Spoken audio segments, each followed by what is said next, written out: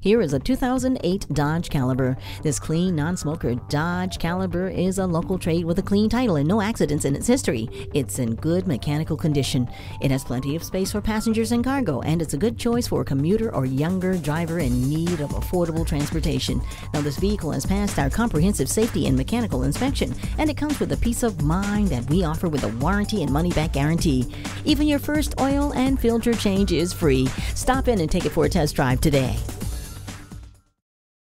We're conveniently located at 3400 Highway 61 North in White Bear Lake, Minnesota.